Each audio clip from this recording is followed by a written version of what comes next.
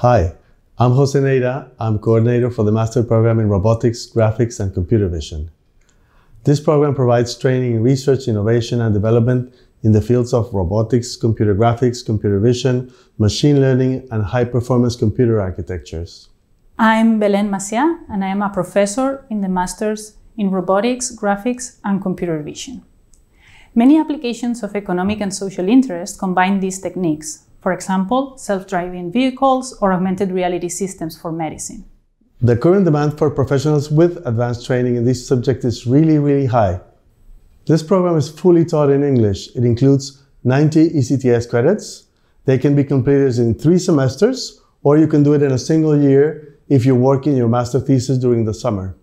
The program is a great option for a broad range of students with bachelor degrees, not only in engineering such as computer science, electronics and automatic control, industrial technologies, telecommunications, mechatronics, electrical engineering and mechanical engineering, but also in sciences such as physics, mathematics or optics. This results in an interdisciplinary group of classmates, which is a very rich learning environment. Strong mathematical and computer science backgrounds are required in all cases, as well as B2 level English. This program is taught at the School of Engineering and Architecture in collaboration with the Robotics, Perception and Real-Time Group, the Graphics and Imaging Lab, and the Computer Architecture Group.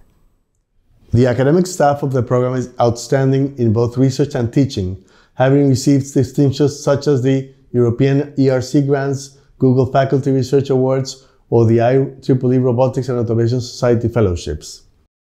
They also collaborate regularly with top institutions and companies such as Adobe Research, Disney, ETH Zurich, MIT, NASA, Oxford, Stanford University, and many more.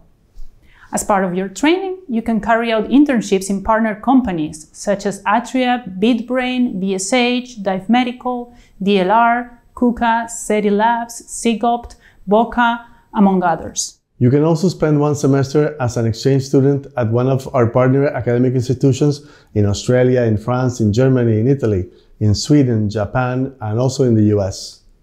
We really hope that you find this program interesting and you can find more information at masters.unizar.es.